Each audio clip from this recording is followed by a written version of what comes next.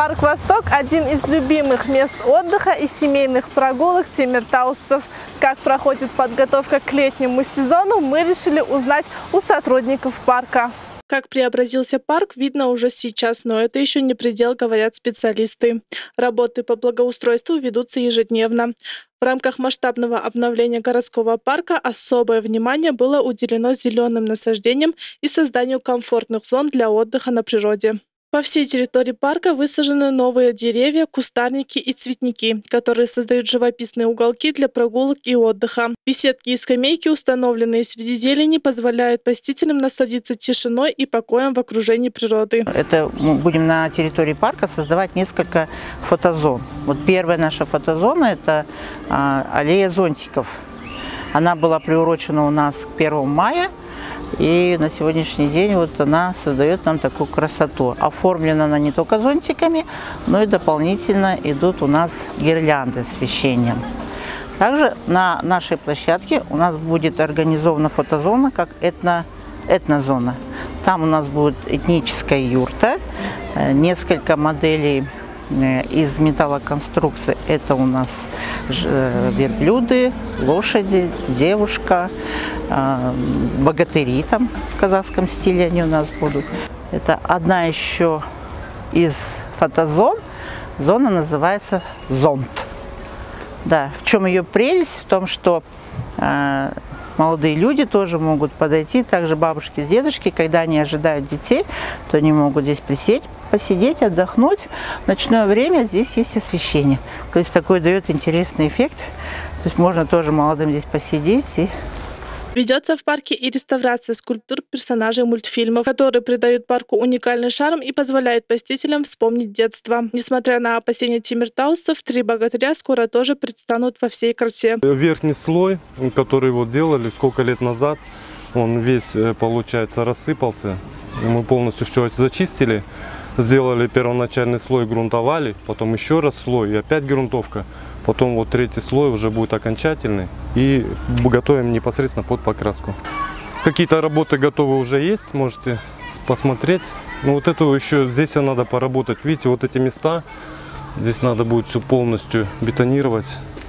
Потому что здесь э, на нее дети залазят.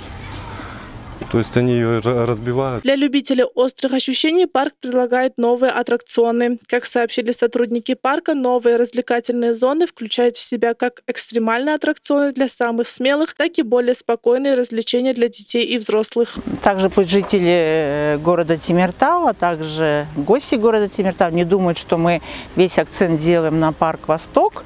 А, у нас сейчас разрабатывается план мероприятий по проведению ну, различных мероприятий, установка аттракционов э, еще в нашем парке. Это парк, который находится по, э, в старом городе. Э, в этом году мы будем приобретать также еще 5 аттракционов, просто сейчас идут конкурсные процедуры. После завершения конкурсных процедур будет у нас победитель и победители поставят нам 5 аттракционов. Два аттракциона мы установим в парке Старого города. И три они будут установлены уже в парке Восток. Одной из главных достопримечательностей парка является зимний сад. Здесь представлены разнообразные экзотические растения, собранные из разных уголков мира. Большинство растений тщательно подобраны и рассажены с учетом их природных условий обитания, что позволяет им процветать и радовать посетителей круглый год. Изначально, когда зимний сад открывался, были завезены растения с Карагандинского ботанического сада и Салматинского ботанического сада. А растения здесь субтропические, тропические, а, более около, около 100 видов у нас растений. В этом году еще э, ложили когда брусчатку, а, мы расширили зону для новых растений. Для этого у нас э, уже растения закуплены. Мы приобрели карликовые бананы.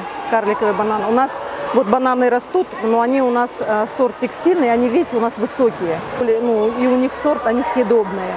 Они вырастают где-то до полтора метров, это где-то вот так вот. Кроме растений, зимний сад стал домом для ряда экзотических животных.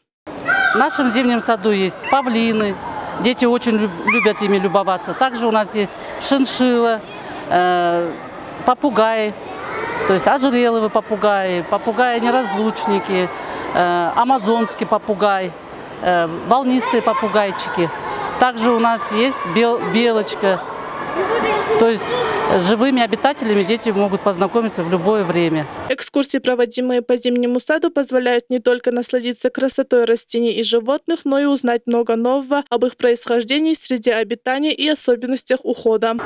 балалар банан бұл ағаш емес бұл жай шөп міне былай тиссеңдер бұл өте жұмсақ банан бұл жай шөп ана жемістерін көріп тұрсыңдар В парке также проходят бесплатные спортивные занятия. Каждое воскресенье с 8 до 9 утра занятия йогой, с 10 до 11 зумба. В вечернее время всех желающих ждут на творческие вечера и дискотеки. Тугжан Загимбекова, Дархану Тимуратов, Новости Тимиртау.